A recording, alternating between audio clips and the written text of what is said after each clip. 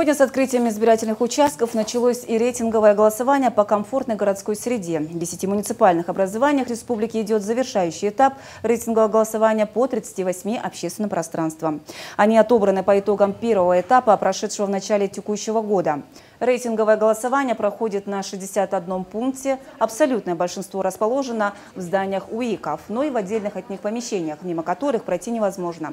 Вход в них оснащен баннерами и плакатами. Волонтеры, одетые в специальные майки и бейсболки, рассказывают о правилах голосования и знакомят всех с городскими пространствами, которые предложены в бюллетенях. Здесь вы можете проголосовать э, э, за проекты по благоустройству города. Из восьми предоставленных проектов вы можете выбрать три понравившихся но э, вы можете выбрать как не, не более трех. Меньше трех можно, но больше трех нельзя.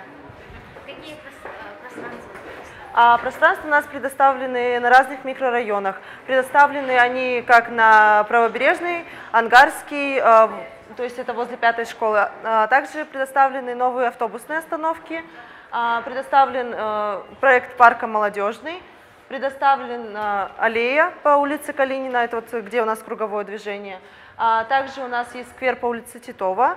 А, будут делать, если выиграть, конечно, площадку возле сельхозтехникума. И последний наш э, проект это возле э, аэропорта.